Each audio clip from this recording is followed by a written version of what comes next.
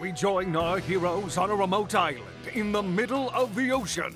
Have they found a supervillain's lair hidden in a dormant volcano? Or discovered a weapon of devastating power?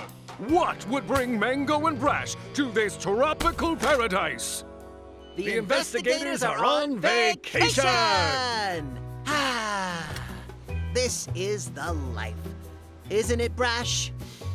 You said it, Mango. I've been dying for some time off.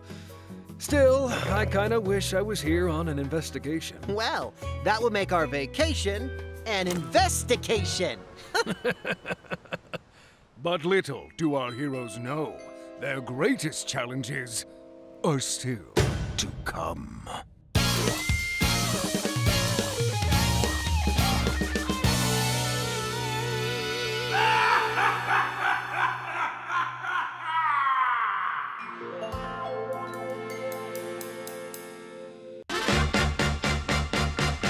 What could possibly happen next?